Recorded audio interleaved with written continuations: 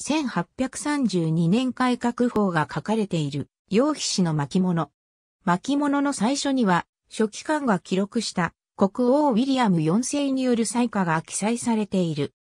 原文、 Le, Roy le veult soit baillé aux Seigneurs、A、cette Bille avecque des amendemens les Seigneurs sont、assentuz、a ces amendemens les Communes sont assentuz、女王そを欲す、または国王そを欲すは、アングロイコールノルマン語の成句。連合王国議会において、君主が広報案に採下を与えたことを示すときに使われる。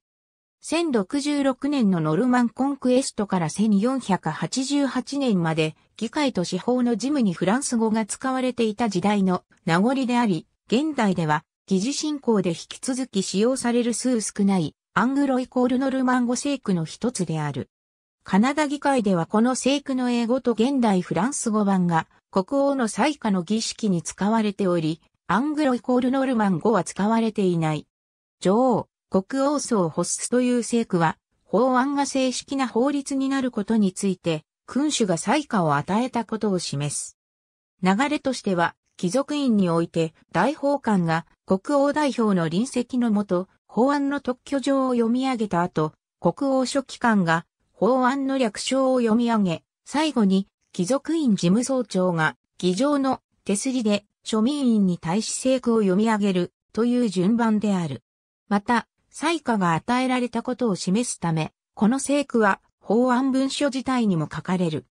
採下が拒否された場合、女王、国王診療戦が使われるが、イギリスの君主が採下を拒否したのは、アン女王が1708年にスコットランド民兵法案に対し拒否権を行使したのを最後に現代まで起こっていない。金銭法案への採下では、女王、国王領民の報酬を沢と四角のごとく発出が使われる。また、司法案への採下では、望まるるがままになさしめよが使われる。国王が採下を与えるという慣習は、初期の議会において、国王が何らかの規定を法律に定める意向を示したいという理由で生まれた。最初はラテン語が使われたが、やがてアングロイコールノルマン語が知識人相と法律における標準語になった。イングランド議会の議事は、エドワード3世の治世後期までフランス語のみで行われ、以降もヘンリー6世の即位までは、英語が使われることが稀だった。国王の採下は、英語で与えられることもあったが、主としてはフランス語の方が多かった。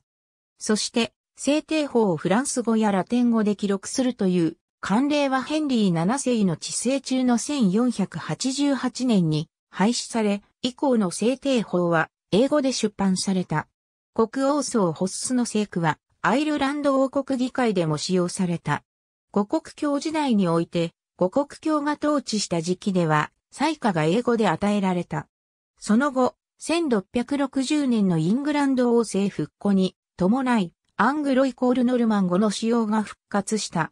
貴族院は1706年に議会と司法事務におけるフランス語の使用を廃止する法案を可決したが、庶民院で可決されず、廃案となった。また、宮廷においてはフランス語の使用が、ジョージ2世の在位中の1731年に廃止されたが、これは議会には影響しなかった。ありがとうございます。